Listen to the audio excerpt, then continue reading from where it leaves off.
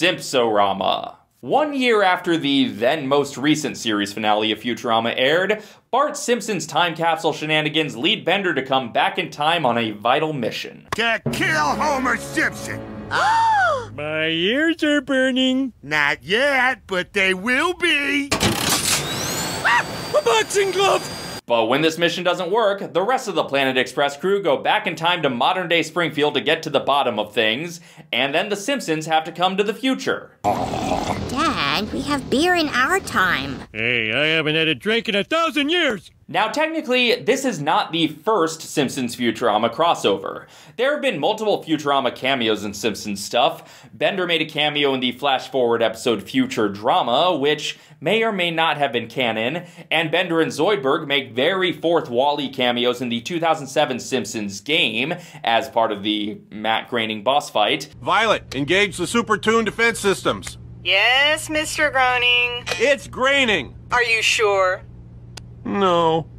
But the big crossover long before this were the comic books, which, like I said, I never followed super closely, but I skimmed through the Simpsons Futurama crossovers, and I noted that the writers of those bent over backwards to justify how they could share a universe when The Simpsons was established as a fictional show within the Futurama universe. Some Bart Simpson dolls.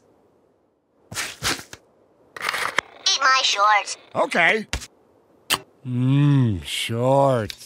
Which seems like an odd thing to worry about because The Simpsons is a fictional show within the Simpsons universe. If you start building a balloon for every flash in a pan cartoon character, you'll turn the parade into a farce.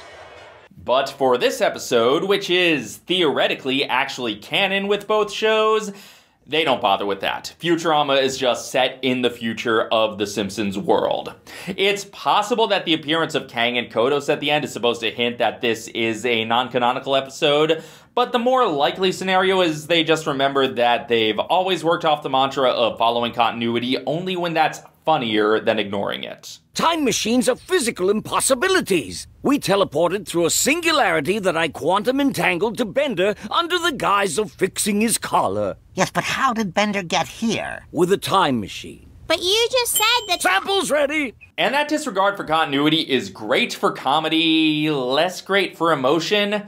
Since Fry is reduced to a supporting character in this story, he never gets a moment to revel in the fact that he's back in the 21st century, and he never even considers trying to see his family, which, I mean, fine, but after Game of Tones, it feels inauthentic for him to not even think about trying to see his mom again. Also, this is a cruel gut punch. That's just heartless. Also, I guess for this episode, Springfield is within walking distance of New York City. Not any wilder than any other clue about Springfield's location they've ever given. Ohio, Nevada, Maine, and Kentucky. But the point here is just to have one last wacky adventure with the Planet Express gang viewed through the lens of the Simpsons gang. It's like a reverse backdoor pilot, a backdoor reunion. It doesn't really advance the Futurama storylines or characters that much, other than apparently leaving Scruffy without a head, but it's nice to see them all again. Kill all humans. Kill all humans. Start with Flanders.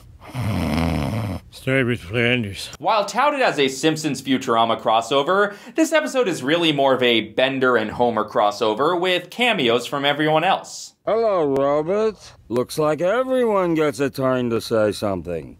This concludes my turn. And unsurprisingly, this episode goes hard on the meta jokes. You know, they look a little similar. Yeah, like the guy who designed Bender just took a drawing of Dad and stuck an antenna on it. See, I used to think that too before we actually saw Bender in human form. Take Homer and explore this time period. Find out why people would ever pay for freemium games. I'm assuming this was a little meta joke about how both of these shows have their own freemium games, since elsewhere this episode makes one of the very few references I remember The Simpsons ever making to one of their other famous advertising campaigns. Attention, goblins! Madison Cube Garden is filled with Butterfinger bars, and people are laying fingers all over them. Also, you know I appreciate this joke. I thought people in the future would be more full of peace and love, like in Epcot. Epcot Center. In our time, Epcot Center is a work farm for the weak. Oh, but it's not as crowded as the slave labor camps at Universal Studios. This is a pretty good Simpsons and Futurama episode, and it's nice to see everyone again. But I don't think the episode has quite enough fun with the crossover to really justify its existence as a crossover. I feel like this easily could have been fleshed out into an hour long episode, really giving the character interactions room to breathe. And to make matters worse, the episode was overshadowed by the Simpsons Family Guy crossover, which aired earlier that season and stretched about a half hour worth of crossover into an hour. Come on, Fox, there's plenty of chances for Family Guy to visit Springfield, but how many more chances are we going to get to visit the world of Futurama? Well, apparently more than we realized, but come on!